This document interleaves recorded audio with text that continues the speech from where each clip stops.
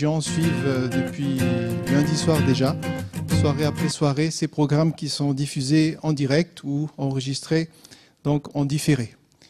Et bien que vous puissiez vous sentir à l'aise dans cet auditorium et que vous puissiez passer une agréable soirée.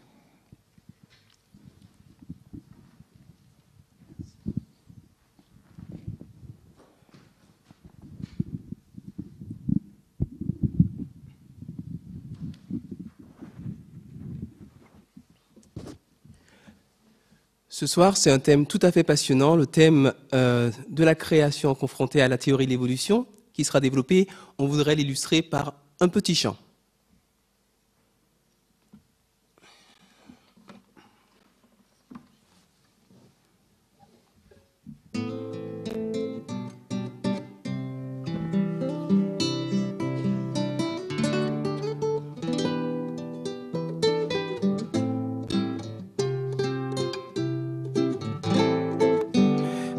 Dans le monde, les gens se demandent Est-il possible de croire en un Dieu qu'on ne voit pas? Si Dieu existe vraiment, pourquoi tant de tourments? Si je pouvais le voir, oui je croirais. Si seulement tu pouvais Vois que son amour est écrit dans le ciel, aussi indélébile qu'est le soleil. Quand je regarde la lune et l'arc-en-ciel, je le vois dans le monde qu'il a fait. Et comme toute la création, je veux crier. Comme tout dans la nature, je veux chanter la puissance de celui qui a tout fait, si tu pouvais.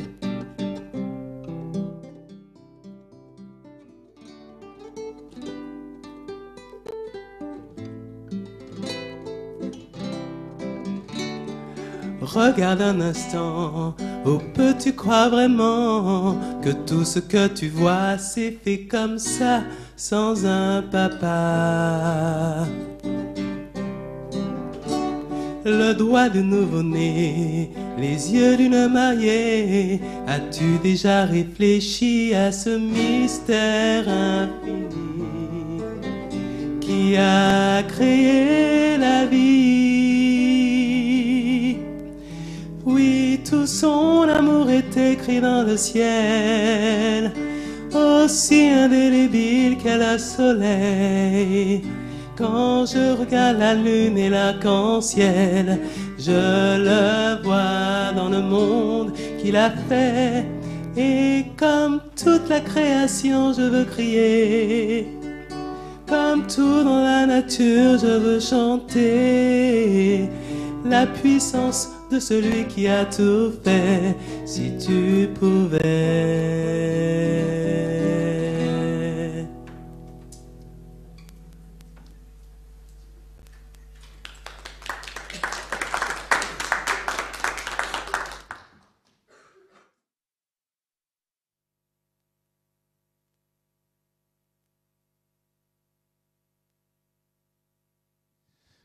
Chers amis, bonsoir, chers visiteurs, chers amis internautes aussi.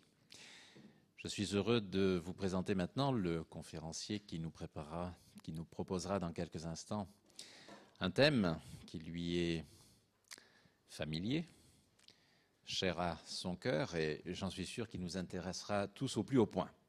Il s'agit de Carl Johnson, le pasteur Carl Johnson, qui euh, travaille dans la Fédération France Nord des Églises adventistes comme chargé de mission dans un département de cette fédération et qui a en partie euh, la charge de proposer des conférences euh, publiques pour sensibiliser ses auditoires à différentes questions relatives à la foi, au sens de la vie, des questions que nous qualifierons d'existentielles. Ce soir, euh, le thème vous a déjà été présenté, je n'y reviendrai pas. Je laisserai simplement la place à Carl Johnson.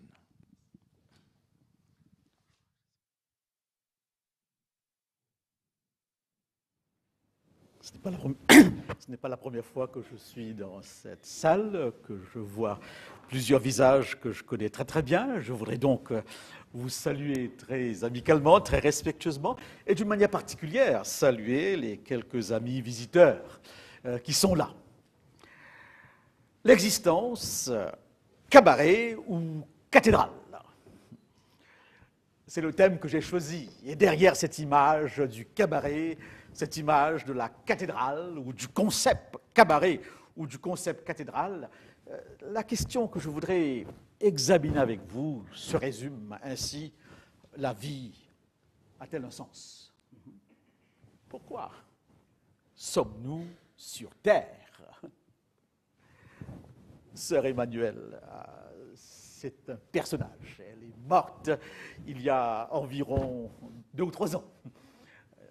Euh, chaque fois que je la voyais sur les plateaux de télévision, euh, je me disais, mais c'est extraordinaire qu'elle ait une, une, une, telle contagion euh, dans, dans, son expression. Elle illuminait d'une manière générale tout le plateau et toute l'assistance.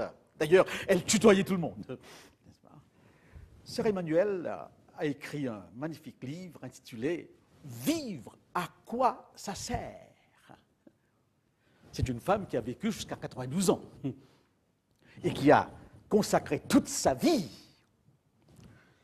aux défavorisés des bidonvilles de l'Égypte, un peu comme sa consoeur à Calcutta, Mère Teresa. Mais Mère Teresa était plus austère, plus, distante dans son regard. Sœur Emmanuel éclatait de joie. Alors elle nous dit ceci, une bête c'est bête, un être humain ça pense. Travaillons donc à bien penser. Je ne sais pas si nous nous rendons toujours compte que l'être humain, dans le concert de la... dans ce monde, dans cet univers, est la seule créature capable de sortir lui-même pour réfléchir sur lui-même on le fait tellement systématiquement qu'on ne trouve pas cela extraordinaire. Comme le dit un philosophe, euh, nous pouvons, à la fenêtre de notre maison, nous voir en train de passer sur la route. Et nous pouvons aussi, sur la route, nous imaginer en train de nous regarder à la fenêtre de la maison. La capacité de penser. Sœur Emmanuel reprend, cette, phrase de, Pascal que j'ai illustrée avec le, penseur de Rodin. L'homme n'est qu'un roseau penchant, le plus faible de la nature, mais c'est un roseau pensant. Hein. Remarquons tout de suite qu'on peut vivre sans penser. Métro, boulot, dodo. J'ajouterai pour l'Amérique du Nord, où j'ai travaillé depuis pendant une quinzaine d'années, métro, boulot, dodo, McDo. En d'autres mots, on vit dans les limites de son corps, en fonction des besoins strictement essentiels de sa vie. On ne cherche rien de plus. Déjà au temps de l'apôtre Paul, vous aviez cette tendance qualifié d'hédonisme qui se résumait ainsi mangeons et buvons, car demain, nous mourrons. En d'autres mots, survivons. S'il n'y a rien après, si, comme le disait un auteur que j'aime bien, que je citerai tout à l'heure, la grande affaire de la vie, c'est la mort. N'est-ce pas? Mangeons et buvons, car demain, nous mourrons. Mais je ne suis pas sûr que les gens ne s'interrogent pas. Euh, j'aurais tendance à croire que derrière nos déprimes, nos ras-de-bol, nos coups de gueule, nos frustrations, nos nostalgies, nos rêves, il doit y avoir des pourquoi existentiels. Pourquoi les choses sont ainsi? Donc même si nous n'articulons pas des questions relatives au sens de la vie, nos états d'âme, nos malaises expriment quand même qu'il y a un décalage quelque part et on voudrait savoir pourquoi. Comment se présentent donc euh, les choses? J'ai travaillé pendant quatre ans à Tahiti. C'est là que j'ai fait la connaissance de mon ami, le pasteur Doum. Et j'ai été plusieurs fois au musée Paul Gauguin. Paul Gauguin, qui, comme Jacques Brel, avait choisi eh de s'installer dans ces pays paradisiaques. Jacques Brel était dans les Marquises.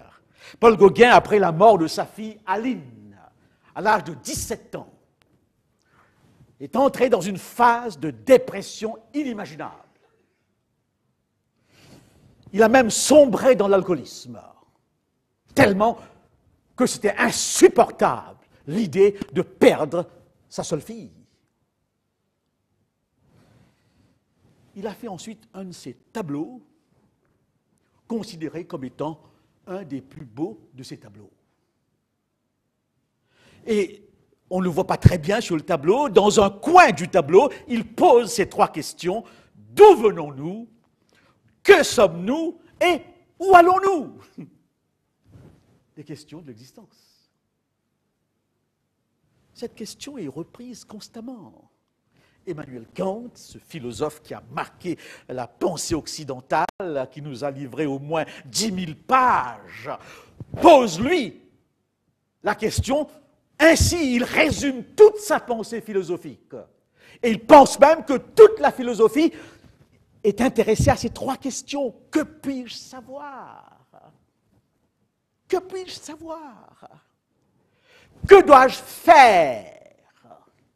Que puis-je espérer En apprenant ce soir, n'est-ce pas, que la France est de la période où le triple A la dégradé. Je me suis posé encore la question, question qui se pose depuis un certain temps, que pouvons-nous espérer? Bien sûr, le philosophe ici veut savoir quoi? C'est quoi l'existence? Que veut-il savoir? C'est quoi avoir une bonne vie, une vie réussie, qui était la question fondamentale des philosophes antiques.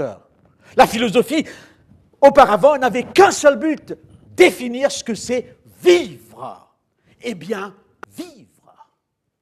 Et au-delà de cette mort, puis-je espérer encore quelque chose?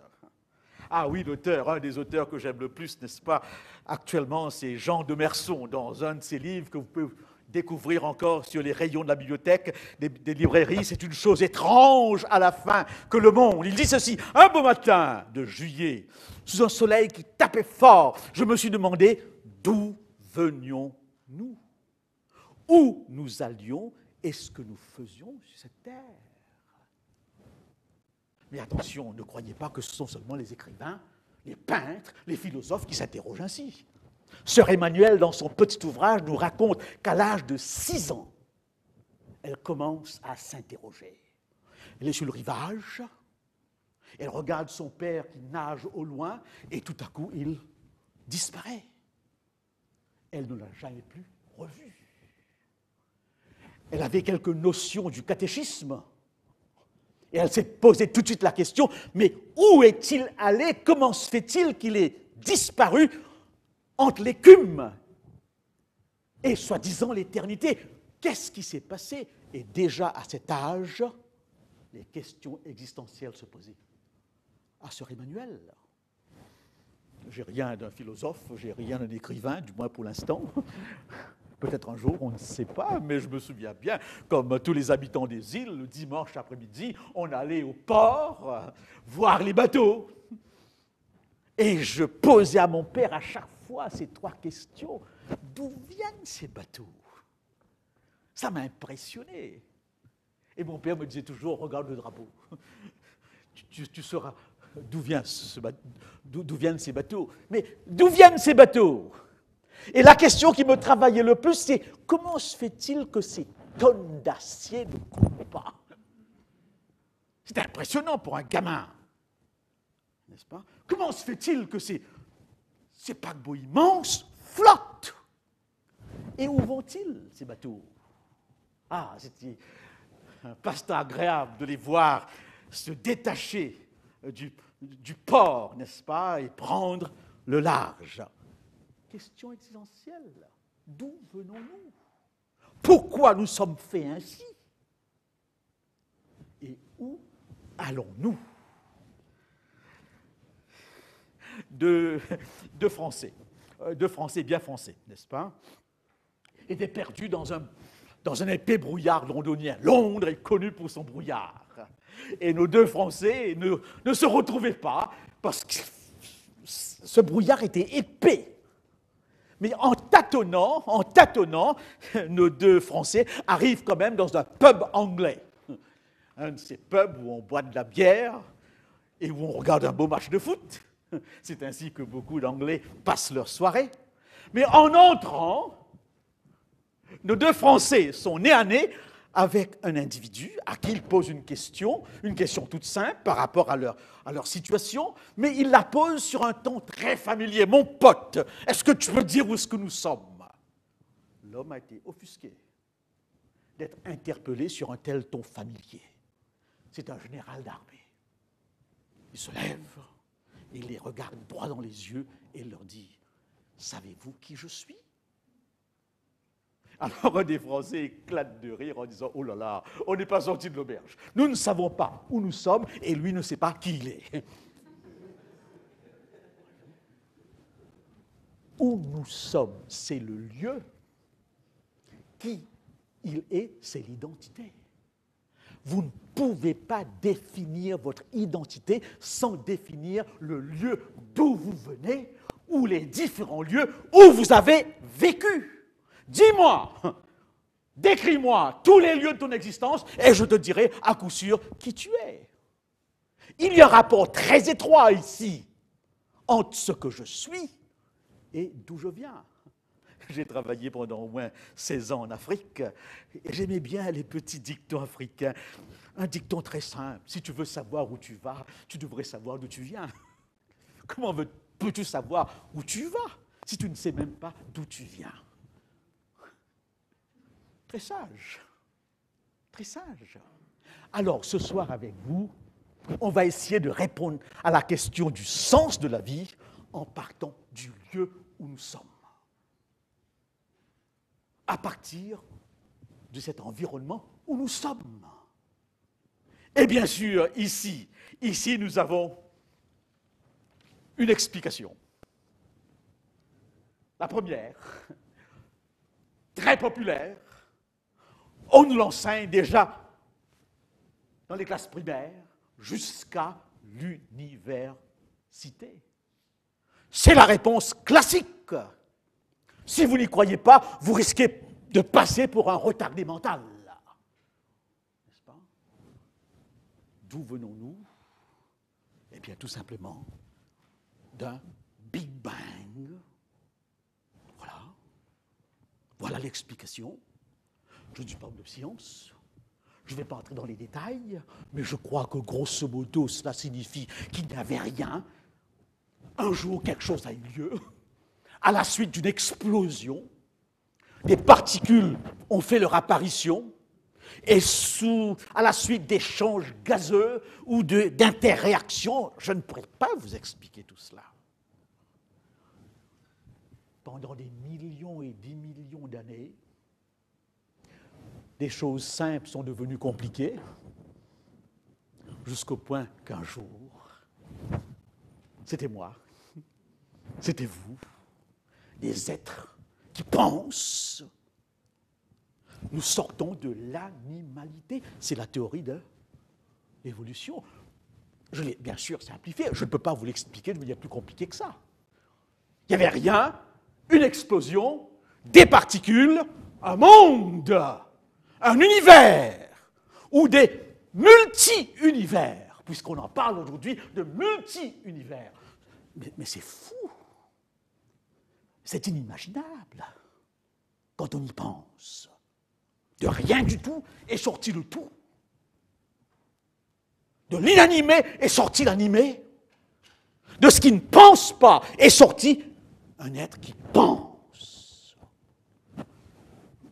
Voilà donc voilà donc, eh bien, la réponse classique. Classique. Et derrière cette réponse, il y a trois choses qu'il faut retenir. Premièrement, il n'y a pas de Dieu. Cette théorie exclut, si vous voulez, l'idée d'un Dieu. Bon, je vais ouvrir une parenthèse ici, parce qu'il y a certains croyants chrétiens qui arrivent à l'accommoder malgré tout. Mais d'une manière générale, nous sommes dans une première vision du monde, à savoir la vision matérialiste. Il n'y a pas de Dieu, premièrement. Deuxièmement, il n'y a pas de finalité, pas de dessin. Troisièmement, l'existence n'a pas de sens. Je ne suis pas sûr que nous acceptons pratiquement cette théorie. Quand je me lève le matin, je sais où je vais. Je sais où je vais. Toute notre vie est réglée en fonction d'un sens. Et pourtant, là, ces trois éléments nous font croire, nous font comprendre qu'il n'y a pas de sens. Alors, j'ai intitulé La vie, le cabaret du néant. Pourquoi? Parce que vers les années 1070, dans tous les métros parisiens, eh bien, un certain Léon-Paul Fag avait placardé cette phrase La vie est le cabaret du néant. Autre mot, il n'y a rien. Rien, rien, rien, rien. Que le néant. Cabaret, lieu de passage, lieu d'évasion. Mais sans rien au bout. Alors je me suis intéressé à, de, savoir si c'est bien ça, la vision matérialiste. Hein? Et comment le savoir? En interrogeant quelques-uns de ses meilleurs représentants. J'interroge le premier, Bertrand Russell, philosophe anglais. Philosophe anglais. On raconte une petite histoire très intéressante à son sujet et même pertinente. Euh, il, fêtait ses 70 ans, il fêtait 70 ans et, sa, copine de 80 ans, n'est-ce pas, qui lui posait la question et lui disait Bertie, tu es sans aucun doute le plus grand athée de tout l'Occident. Il a écrit plusieurs ouvrages, et un qui m'a beaucoup interpellé, pourquoi je ne suis pas chrétien? Eh bien oui, Bertie, imagine-toi qu'après ta mort, tu te trouves face à face avec Dieu. Qu'est-ce que tu vas dire? Toi qui as toujours cru qu'il n'a jamais existé, et voilà que tout à coup, tu es en face de lui. Alors Bertie n'a pas perdu la boule. Il lui a dit, je lui dirai tout simplement, tu ne m'as pas donné suffisamment d'évidence. Tu ne m'as pas donné suffisamment de preuves. Et entre nous, il n'y a pas de preuves avec un grand P. Qu'on soit clair à ce sujet. Alors, regardez ce qu'il nous dit. C'est un peu long, mais c'est important. L'homme est le produit de causes n'ayant aucune prévision du but qu'elle poursuive. Que son origine, son développement, ses espoirs et ses craintes, ses amours et ses croyances ne sont que le résultat de l'assemblage fortuit des atomes. Qu'aucun enthousiasme, aucun héroïsme, aucune intensité de la pensée ou du sentiment ne peuvent conserver la vie individuelle au-delà de la tombe que les travaux de tous les âges, la dévotion, l'inspiration, l'éclat resplendissant du génie humain soient voués à l'extinction dans la mort grandiose du système solaire, et que le temple entier de l'œuvre humaine doit être enseveli sous les débris dans l'univers en ruine, toutes ces choses, si elles ne sont pas indiscutables, sont pourtant presque si sûres qu'aucune philosophie qui les rejette ne peut espérer durer et lui aussi, comme beaucoup d'autres philosophes, avait annoncé sur cette base la disparition tôt ou tard de la religion, de toute philosophie qui donnerait l'impression qu'il y a quelque chose de plus que notre monde. Quelle déclaration Ça vous interpelle? Ça vous gêne? Vous n'êtes qu'un assemblage fortuit d'atomes, rien de plus. Bertrand Russell. Bien sûr, tout le monde le connaît, c'est un Français, si je ne me trompe, Jacques Monod. Le hasard et la nécessité.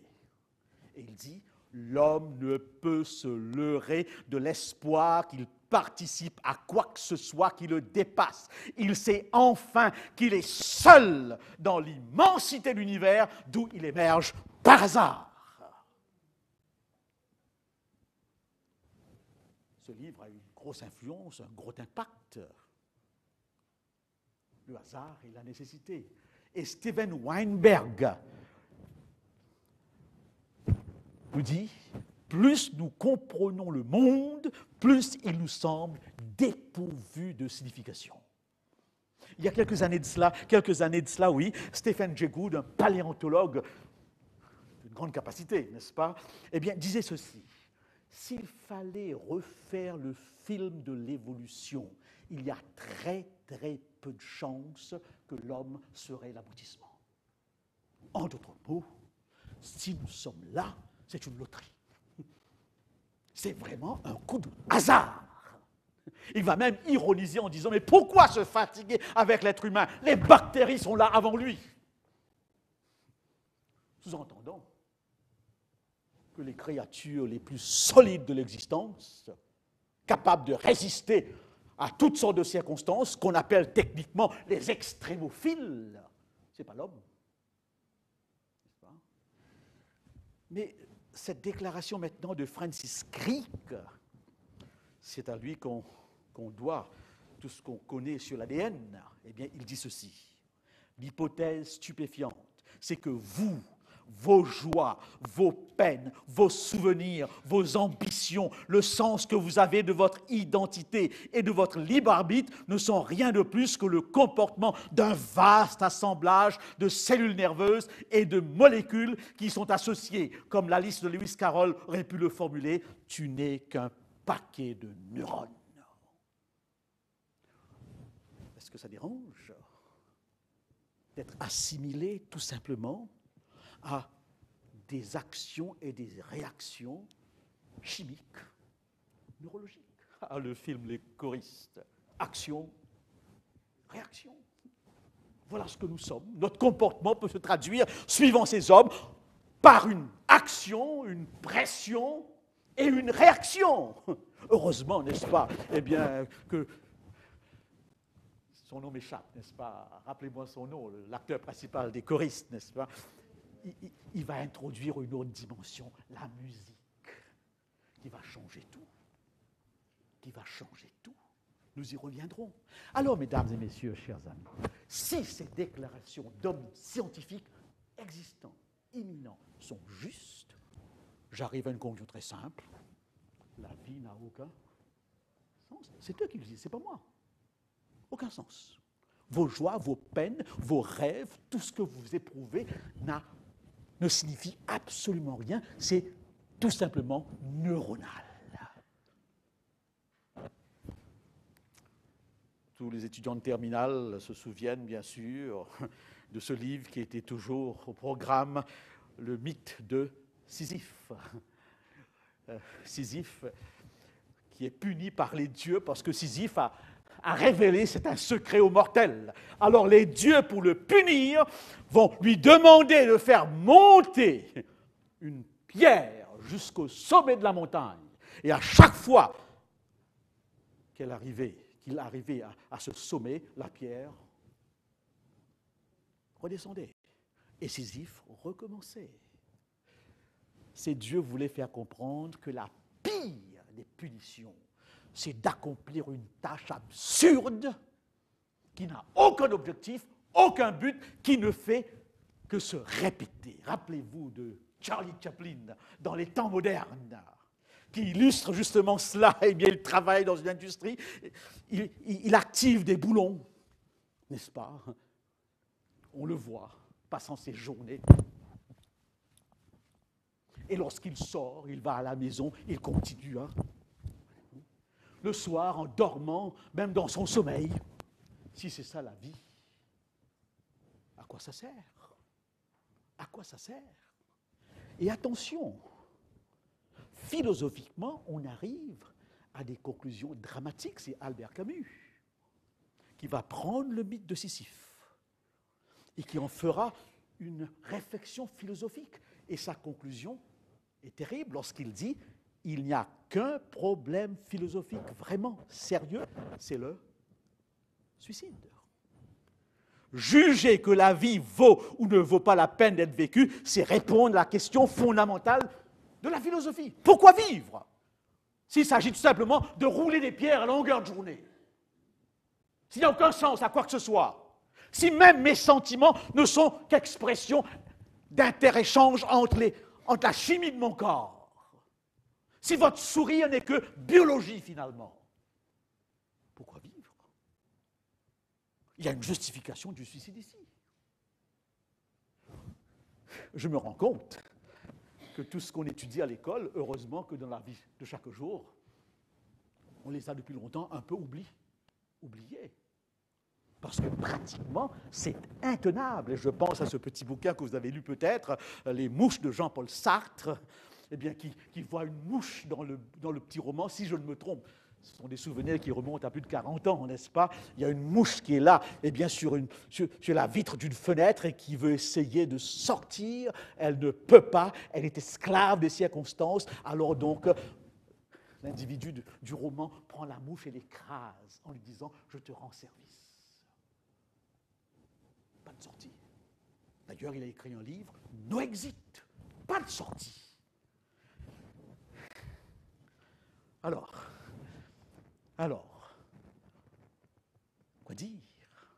J'aime bien voir, quand je vois les gens qui, qui courent, non pas seulement pour les soldes, bien, on a un petit peu l'impression que les magasins n'étaient pas très remplis. J'étais à Mulhouse, j'étais voir un petit peu s'il y avait foule. Non, non, non, il n'y a pas tellement de foule, ici, vraisemblablement. Mais d'une manière générale, quand je vois la foule qui, qui sort, qui, qui se dérange pour quelque chose, je me dis toujours, mais qu'est-ce qui les fait courir? Les intouchables, 17 millions d'entrées. C'est un record. La grande vadrouille, les petits, passés, les intouchables. Pourquoi 17 millions de Français se sont intéressés à regarder les intouchables? J'étais le voir. Je me suis, j'étais le voir avec ce sentiment. Mais, mais pourquoi courent-ils tous aller voir les intouchables Il y a de l'espoir dans ce film. Il y a l'optimisme dans ce film. Il y a la solidarité humaine dans ce film. Il y a la compassion dans ce film, alors que nous sommes que des paquets de neurones. Alors que euh, l'homme de science nous a dit, mais, mais tous ces sentiments que j'ai énumérés n'ont aucun sens. Ce sont des illusions. Nous courons après des illusions. Si j'en crois à ces déclarations, euh, dans les années 70, ceux de ma génération s'en souviennent. Oui, il y a un spectacle musical qui a eu un succès terrible. Ça nous vient du Québec, avec Luc Plamondon, si je ne me trompe. Et d'ailleurs, la plupart des chanteuses eh bien, qui, qui, ont repris le thème du spectacle sont du Québec. Fabienne Thibault, n'est-ce pas, Diane Dufresne. Eh bien, c'était Starmania. Starmania. Je ne sais pas si vous en souvenez, ceux de ma génération. À moins que vous n'avez pas beaucoup de temps à regarder ce qui se passe dans la société. Oui, Starmania, Starmania. Stone. Vocabulaire qui touche le monde de la drogue. Le fond de Starmania, c'est l'histoire d'une gamine qui, dans sa cave, empêtrée dans ses drogues, cherche la lumière. Et elle dit, je cherche la lumière, qu'elle ne voit pas. Cette pièce musicale a été jouée et rejouée. Est-ce à cause des voix de Fabienne Thibault ou de Diane Dufresne où est-ce qu'on a été voir plus que cela? Et là, je relève, je relève, n'est-ce pas, un refrain de Starmania. Quand on se sent inutile, quand on est l'importance de personne, que la mort est la seule délivrance, si douce qu'elle ne fait plus peur, j'ai la tête qui éclate, je voudrais seulement dormir, m'étendre sur l'asphalte et me laisser mourir. Stone, plus d'espoir, plus de courage, plus de patience, juste l'absence. L'absence. Stone, j'ai plus envie de me battre, j'ai plus envie de courir, comme tous ces automates qui bâtissent des empires. Laissez-moi me débattre, venez pas me secourir, venez plutôt m'abattre. J'en ai marre de souffrir, j'ai la tête qui éclate. Laissez-moi mourir, venez me secourir, ne venez pas me secourir, venez m'abattre. Toute cette souffrance insupportable, j'ai la tête qui éclate, laissez-moi mourir. Si je prends cette déclaration d'homme de science que je viens de citer, j'arrive à là. Soyons logiques. J'arrive à là. Et nous avons souvent des films, des pièces de théâtre qui expriment ce malaise du cœur humain. Plus rien, plus rien. Et Albert Camus va mettre le doigt sur le problème dans le livre L'étranger, il dit ceci, un monde qui peut être expliqué, fût-ce par, par de mauvaises raisons, est un monde familier. Mais en revanche, dans un univers privé d'illusions et de lumière, son exil, l'homme se sent un étranger. Son exil est sans remède, étant donné qu'il est privé du souvenir d'un foyer perdu ou de l'espoir d'une terre promise. C'est le philosophe de l'absurde qui parle, un des piliers de la pensée occidentale. Au moment où vous enlevez à l'homme la nostalgie d'un foyer, vous n'arrivez pas à lui dire clairement d'où il vient. Et que vous l'enlevez en même temps la perspective d'un monde à venir, il est totalement étranger.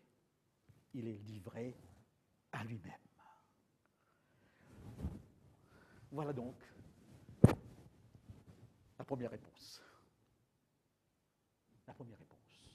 La vie, un cabaret de néant, soutenu par les hommes de science les plus imminents du siècle. Est-ce qu'il n'y aurait pas une autre voie? Est-ce qu'il n'y aurait pas une deuxième Une autre solution au problème? Une histoire moyenâgeuse que vous avez entendue sans aucun doute. Deux hommes travaillaient sur un chantier lorsqu'un inspecteur est venu et a posé cette question au premier, qu'est-ce que tu fais Et il a répondu, je taille une pierre. C'est tout. Certains roulent des pierres, lui il taille une pierre. C'est tout. Pas tellement motivant. La même question est posée au deuxième. Et lui, il répond avec l'enthousiasme de Sœur Emmanuel. Je construis une cathédrale. Deux perspectives. Deux perspectives. Deux hommes qui font le même métier, mais dans une orientation totalement différente. Je construis une cathédrale. La vie, cabaret ou cathédrale? Toutes les cathédrales pointent vers le ciel. Qui dit cathédrale dit Dieu. Alors voyons, si vous voulez, cette fois-ci, notre question à la lumière de, cela. Je voudrais vous rappeler une chose très intéressante. Je suis en France depuis quelques années. Je suis toujours impressionné par, certaines déclarations que j'entends, que j'entends, et qu'on colporte. Qu'on colporte. La religion, Dieu, c'est une affaire privée, c'est une affaire personnelle, etc. Mais on devrait se rendre compte que depuis que le monde existe, depuis que l'homme existe, existe l'idée de Dieu. On n'a jamais réussi jusqu'à maintenant à enlever ce concept. Les premiers ethnologues, lorsqu'ils ont étudié les premières civilisations, ont tout de suite remarqué que par rapport aux autres créatures, l'être humain était le seul à regarder vers le ciel, à accorder à son enterrement, à sa naissance, une dimension religieuse. D'où l'étiquette homo religiosis, homme religieux, relié à. C'est une constante de l'être humain. Et qui veut aborder la chose honnêtement doit se poser la question, mais comment se fait-il que jusqu'à maintenant, malgré toutes les prévisions, le concept demeure? Il est là, il est ancré, on a voulu le tuer, ce Dieu. Je vous rappelle la parabole de l'insensé de Nietzsche, celui de qui on a dit, eh bien, le fossoyeur de Dieu, n'est-ce pas? Un insensé qui, se balade dans la ville et qui tout à coup cherche Dieu. Alors on lui demande, que cherches-tu? Et il répond, je cherche Dieu. Mais on lui dit, mais, tu ne sais pas qu'il est mort. Toutes ces cathédrales ne sont que les tombeaux de Dieu. Comment se fait-il que tu arrives si tard que cela? Depuis, l'expression Dieu est mort est devenue presque à la mode. Au point que Odon Valley, sociologue très connu en France, a écrit un bouquin que le titre m'a impressionné. Non, Dieu n'est pas mort, il est seulement malade. Pour l'Occident, on n'a pas réussi encore à l'enlever. On n'a pas réussi encore à l'enlever. Et, et, je suis impressionné, excusez-moi, je crois que je l'ai la revue, je vais tout de suite, tout simplement, vous le montrer. Je suis impressionné de voir en France, pays laïque, le nombre d'écrits sur Dieu. Dans les kiosques actuellement, le point. a tout un dossier sur Dieu. En une année, le point, on en a fait deux dossiers sur Dieu.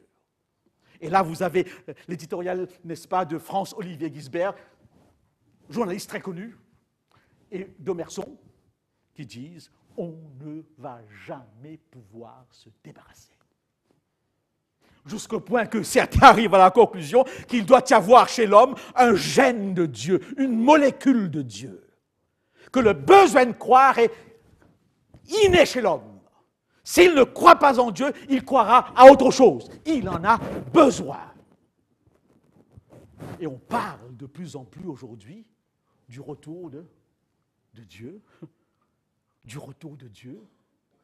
Laissez-moi vous convaincre, laissez-moi vous convaincre. J'aime bien Bernard Pivot, comme tout le monde d'ailleurs, celui qu'on appelait, n'est-ce pas, Monsieur Dicté. Mais avant Bernard Pivot, le dernier livre de, Frédéric Lenoir et de Marie Drucker, c'est Dieu. Il se vend actuellement dans les librairies. C'est un des best-sellers actuellement. Il est toujours là. En pays laïque. On ne parle plus dans les cathédrales, mais les kiosques en sont remplis. Dieu. Et Bernard Pivot, Bernard Pivot, à, qui on posait la question, n'est-ce pas, qu'on interrogeait sur Dieu. À la fin, il a dit ceci, il nous colle à la peau. On voudrait s'en débarrasser, mais on n'y arrive pas. On n'y arrive pas. Nous sommes un pays, en principe, laïque. Et j'ai à la maison plus, d'un rayon sur Dieu. Tous ces livres que vous voyez euh, sur, sur, le diapo sont des livres qui sont sortis durant ces deux dernières années. C'est impressionnant, les livres écrits sur Dieu.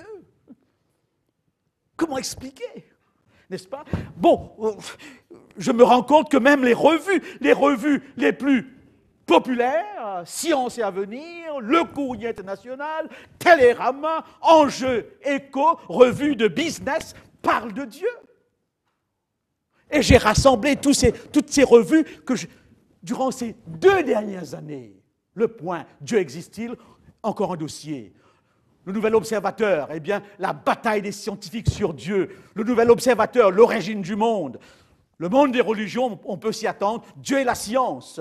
Le Figaro, Dieu est la science. Il n'est pas mort. Les écrits sur lui sont très nombreux, très très nombreux. Qui confirme ce que Pivot disait. Il nous colle à la peau. Bien sûr, on ne parle plus de lui comme on en parlait dans les églises. OK. Mais le concept le concept est là. Et j'aime bien faire remarquer cela. Hein. Je sais, euh, ceux qui m'ont entendu plusieurs fois peut-être eh bien, se diront, mais il dit toujours la même chose. Mais, mais c'est intéressant de se rendre compte que dans la France dite laïque, dite athée, vous avez 60% des Français qui consultent chaque jour l'astrologie. Bizarre. On ne croit pas qu'il y a un Dieu qui a créé les astres, mais on croit que sa destinée est écrite dans les astres. Quel désastre c'est paradoxal. Et c'est même paradoxal qu'en Europe, c'est en France que vous avez le plus, le plus grand nombre de sectes. On a un petit peu l'impression que ce vide religieux qu'on veut faire ouvre la porte à tous les courants. On a même une nouvelle religion en France, le bouddhisme considéré comme étant la quatrième religion de France, suivant les émissions du dimanche matin. Alors, est-ce que ça ne confirme pas Plus chasser le naturel et il revient au galop? Chasser le concept et il revient, il revient sous toutes sortes de formes et parfois sous des formes les plus aberrantes. Oh, chers amis, je voudrais vous convaincre ce soir que ces hommes de science, pas tous les hommes de science sont des athées. Vous en avez autant qui croient autant qui croient. Et là, je vous cite un, n'est-ce pas, John Pockilcorn, un anglais, un anglais. Qu'est-ce qu'il dit? L'univers aurait pu se présenter comme un chaos indescriptible, plutôt que comme un cosmos ordonné. Il existe une congruence entre notre esprit et l'univers, entre la rationalité expérimentée de l'intérieur et la rationalité observée à l'extérieur. Cet homme, un monument scientifique arrive à la conclusion qu'il y a de l'ordre, qu'il y a de l'intelligence, et qu'on ne peut pas évincer le concept d'une intelligence. D'ailleurs, Einstein disait, le monde ruisselle d'intelligence. Et je vous cite cet autre texte, n'est-ce pas, de Jean-Paul Grasset, donc prix Nobel, si je suis revenu à la foi, c'est par la science, par une démarche scientifique. Si l'univers est compréhensible, c'est que l'univers est ordonné. Le chaos n'est pas compréhensible. Mais d'où vient cet ordre de l'univers? Nous vivons dans un monde ordonné. Qui dit ordre dit intelligence ordonnatrice. Cette intelligence ne peut être que de Dieu. Homme de science. J'ai lu quelques ouvrages de Hubert Reeves, québécois. Je me sens un peu proche puisque je suis au Québec depuis 20 ans, n'est-ce pas? Et on lui a posé directement la question Croyez-vous en Dieu? Et Hubert Reeves dit Le mot Dieu est un mot piégé. En effet, on a tellement fait de désordre au nom de Dieu que ce mot autant ne pas l'utiliser parfois. Mais alors, Reeves dit ceci, je ne peux pas croire que tout ça soit le produit du hasard. Je ne peux pas le croire. Et il ajoute, et c'est là où, je le rapproche à Junot, l'acteur, dans Les choristes, il ajoute, quand j'écoute un morceau de Bach, un morceau de Mozart, un morceau de Beethoven, j'arrive à la conclusion qu'il y a autre chose que ça ne peut pas être que des neurones, que de la matière, que de la chimie, que de la biologie. Il faut qu'il y ait autre chose. La musique, nous dit Hubert Reeves, me donne l'impression qu'il y a autre chose. Et d'ailleurs, la plupart des titres de ces ouvrages sont des titres poétiques et romans romantiques. Eh bien oui, laissez-moi vous rassurer. Vous rassurer. Jean Stone, homme de science français, qui dirige plusieurs comités et qui cherche une, rencontre entre l'homme de science, n'est-ce pas, et L'homme de science, croyant ou non croyant, nous a sorti un bouquin de 500 pages. Notre existence a-t-elle un sens? Et un deuxième, Science en quête de sens. Et j'aime bien ce poème de cet homme de science bien français, parce qu'on a un petit peu l'impression dans les médias que tous les hommes de science qui croient sont américains. Ça, ce sont les, images que véhiculent les médias. Eh bien oui, regardez ce poème, n'est-ce pas? Eh bien de, Jean Stone. Dieu, derrière la ronde des galaxies, je vois ton nom. C'est un peu basé sur le poème de, Paul Éluard, La liberté, n'est-ce pas? Derrière la ronde des galaxies, je vois ton nom. Derrière le vol d'un colibri, je vois ton nom. Derrière une goutte de rosée, je vois ton nom. Derrière l'existence de la beauté, je vois ton nom derrière l'émergence de la conscience, je vois ton nom, l'homme de science, qui s'extasie devant, devant l'univers. Alors je vous rappelle, sans entrer dans trop de détails, de la vision biblique. Elle est simple, trop simple même parfois. Le premier verset de la Bible, c'est Au commencement, Dieu créa les cieux et la terre. Qu'est-ce que ça m'apprend Qu'il y a eu un commencement? L'homme de science ne peut pas me contredire ici. Le Big Bang est un commencement. Il y a eu un commencement. Avant, il n'y avait rien. Ensuite, il y a eu quelque chose. Et ce Dieu est avant le commencement. Mais que ce monde n'est pas le résultat d'un hasard. Ce monde est un acte d'intelligence. Ce monde est le résultat d'une création. Je vous dirai en passant que j'ai jamais vu quoi que ce soit aucune cause, aucun effet qui n'est pas une cause, qui n'est pas une cause. Notre expérience est moulée par le concept de causalité. Si, si un clou s'enfonce dans un morceau de bois, c'est qu'il y a quelqu'un qui tape dessus. Et là, on veut à tout prix nous apprendre que cet univers impressionnant est venu comme cela. Donc, c'est une affirmation anti-scientifique. Quelque part, une cause nous est donnée ici. Et comme le disent certains hommes de science eux-mêmes, c'est plus facile de croire à cette théorie de la création en y mettant une cause que de croire que tout cela est venu sans cause. Il faut beaucoup de foi pour croire que tout cela est sorti de rien, parce que vous n'avez jamais vu dans votre existence quelque chose qui sort de rien. N'est-ce pas? Deuxième élément, Dieu vit que tout était bon tout était très bon. S'il y a actuellement, très rapidement, un débat entre hommes de science croyants et non croyants, le, dialogue est très ouvert, d'où tous ces articles que je vous ai montrés. C'est parce qu'on découvre de la science dans, l'univers ce qu'on appelle le principe anthropique. Voilà un petit peu très rapidement ce que ça signifie. Le principe anthropique du grec anthropos, qui veut dire l'homme, signifie que l'univers semble avoir été réglé de façon extrêmement précise pour que la vie et l'intelligence telles que nous la connaissons apparaissent. En fin de compte, l'existence de ce réglage redonne du sens à notre propre existence. C'est un astrophysicien, Tring Chuan Chong, très cité en France, qui le dit, il est bouddhiste. Il dit, quand je regarde l'univers, j'ai l'impression que cet univers a été préparé pour recevoir qui? L'homme. C'est Brandon Carter, un autre homme de science, qui, nous a parlé du principe anthropique. Il emploie une image très intéressante. Il dit Tout semble dire que la maison a été préparée pour recevoir des propriétaires. Il y a tellement de cohérence entre l'univers et l'être humain.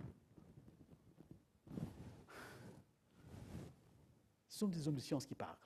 Je peux vous l'expliquer d'une manière très très simple. D'une manière très très simple, j'habite à Beau-la-Reine.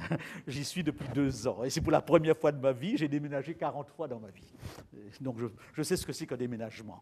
Et c'est la première fois où je suis venu avec ma valise, ma femme et moi. Parce que la maison est, déjà meublée. Très fonctionnelle. C'était agréable d'entrer et de poser sa valise et de se rendre compte que tout était là. C'est un petit peu ce que Carter dit. L'univers est organisé d'une telle façon que l'être humain est capable de vivre et de l'admirer. Et Dieu le dira ainsi, tout était bon, tout était très bon. On n'est pas naïf lorsqu'on croit. Et vous avez une troisième affirmation toute simple. Euh, je ne vais pas m'y arrêter, mais, mais c'est tellement profond. Dieu créa l'homme à son image. Chers amis, vous devez pouvoir expliquer quelque chose. Si vous avez en vous le sentiment de la justice, le sentiment de l'éternité, le sentiment de l'amour, le sentiment de la bonté, de la du pardon, posez-vous la question, d'où viennent ces sentiments? Comment expliquer chez l'être humain tous ses besoins existentiels et l'existence de tout cela. Déjà, expliquer que de l'inanimé est sorti l'animé. Expliquer, n'est-ce pas, de ce qui ne pense pas est sorti ce qui pense.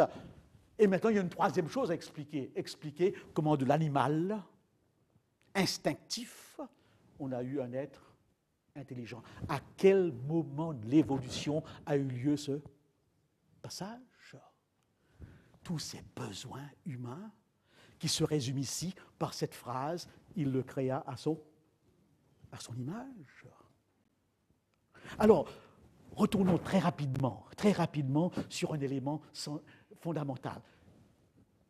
J'ai regardé, j'ai regardé, n'est-ce pas, au, Canada, cette exposition du professeur Von Hagen, Von Hagen, euh, du docteur Von Hagen, n'est-ce pas, euh, qui, avait été intitulé Body World. Je suis très étonné, parce qu'en France, on a interdit cette, exposition. Ça m'avait frappé. Le gouvernement a interdit l'exposition sous prétexte que c'était une atteinte à la dignité humaine. Alors je me suis posé la question, mais, de quelle dignité parle-t-on? Quand vous parlez de droits humains, ou droits de l'homme, droits de la femme, droits de l'enfant, vous parlez de dignité humaine, quelle est la base de cette dignité? L'animal? Tous ces droits humains, quel est le fondement? Quand vous parlez du caractère sacré de la vie, qui vous donne droit de le dire? Le croyant par de Dieu. Alors le, euh, le professeur Van Hagen a réussi par un procédé appelé plastination, plastination, à démontrer une quarantaine de corps. Lorsque vous regardez l'exposition, vous êtes impressionné par ces corps. Sous des formes différentes, il veut illustrer justement toutes les capacités du corps humain. C'est impressionnant. J'espère que la prochaine fois, la, France va. C'est le seul pays qui, l'a interdit, la France. Pays laïque, drôle. D'ailleurs, il y a eu des critiques à ce sujet. Et, j'ai écouté une fois le professeur Von Hagen à la télévision de Montréal. Il présentait chaque soir un cours d'anatomie. Et il parlait, n'est-ce pas, ce soir-là, de la reproduction sexuelle. Avec son couteau, il coupait dans les organes sexuels comme un boucher, n'est-ce pas? Et c'était impressionnant. Et je regardais là les gens qui, regardaient le spectacle, des jeunes couples. On voyait les visages. Je me disais, je me posais la question, vont-ils faire l'amour ce soir? Après avoir démontré que tout cela, c'est purement anatomique, c'est purement neuronal, c'est purement biologique, comment vont-ils apporter un peu de romantisme dans ce qu'ils vont faire ce soir? Il n'y a pas de place pour le romantisme. Lorsque vous dites à votre femme, je t'aime chérie, et si elle vous dit, tu as bien mangé ce matin, maintenant tu me dis je t'aime. Réaction neuronale. Quand tu regardes ton petit garçon dans les yeux, si tu te dis, mais ces reflets, eh bien, c'est de la chimie, c'est de la biologie, rien de plus. Comment peut-on vivre avec cela? C'est un homme de science qui se dit, je ne comprends pas mes collègues qui croient au matérialisme dur et pur, comment font-ils pour dire je t'aime à leur femme? Nous sommes là devant des questions euh, fondamentales. Eh bien oui, ça me rappelle une petite histoire en passage euh, de ce, de ce prêtre, n'est-ce pas? Bon, lui, il a décidé de ne pas participer aux joies de l'amour, n'est-ce pas? Il a mis une croix là-dessus, mais il dit qu'il a souvent lu que c'est la chose la plus extraordinaire qui soit. La lune de miel, c'est extraordinaire, c'est exaltant. Il dit, mais c'est bizarre, tous les matins, je prends le métro et je regarde tous ces gens dans le métro. Je me dis, plusieurs en ont fait l'expérience hier soir de la chose la plus exaltante qui soit. On n'a pas l'impression du tout, en les regardant, que c'était exaltant. Bizarre. Est-ce que c'est exaltant vraiment? Mais si vous me dites non, c'est tout simplement biologie. Chers amis, les questions sont fondamentales. Je ne dis pas que j'ai toutes les réponses, mais j'ai des réponses suffisantes pour soutenir ma foi. Et j'ai même quelques personnages que je vais vous présenter très vite. Lisez-le, vous le trouvez dans n'importe quel livre. De la génétique à Dieu, eh bien c'est Francis Collins, celui qui a mis au point le génome humain, qui, qui raconte sa conversion. Il était athée, il est maintenant chrétien. Pas chrétien abstrait, très engagé dans une église évangélique. Vous verrez le livre n'importe où. Il a mis au point le génome humain. De la génétique à Dieu. Jean Delumeau, j'ai ce livre à la maison, nous présente 29 hommes de science d'Europe, de France, qui croient. Christian Cabanis, n'est-ce pas, nous présente 50 qui croient en Dieu et 50 qui n'y croient pas. Il y a autant d'hommes de science qui croient d'hommes de science qui ne croient pas, mais ici, on n'en parle pas, on pense que ce sont les Américains seulement. La vie a-t-elle un sens Il y a deux mois de cela, le journal La Croix publiait un sondage qui m'a impressionné. Je me suis demandé, de- dois-je continuer mes conférences ou l'arrêter? Sur ce sondage, la question était posée, vous, personnellement, vous demandez-vous très souvent quel sens a votre vie? 67% de non-pratiquants disent jamais. Jamais. Ça m'interpelle. Je me dis, mais à quoi, à quoi servent tes conférences? 67% disent non, nous vivons sans jamais nous poser cette question. N'est-ce pas? Deuxième question, selon vous, dans la société actuelle, est-il très facile de discuter de Dieu? Plus de 60% répondent non. Ils ajouteront dans la troisième question que ça ne sert à rien. Mais le paradoxe, le paradoxe, c'est que le film qui a été primé dernièrement à Cannes a pour titre L'arbre de vie. C'est assez paradoxal. J'ai vu le film. D'ailleurs, le scénariste, Kubrick, si je me trompe, est chrétien. Et dans son film, eh bien, il fait l'éloge de la vie, et il pose le problème de la mort, il essaye de situer l'homme dans l'univers. C'est un film impressionnant. On ne se pose pas des questions sur le sens de la vie, mais lorsqu'il y a un film qui en parle, on va le voir. N'est-ce pas? L'autre film qui a eu environ 100 000 spectateurs, c'est celui de Clint Eastwood, L'au-delà. L'au-delà.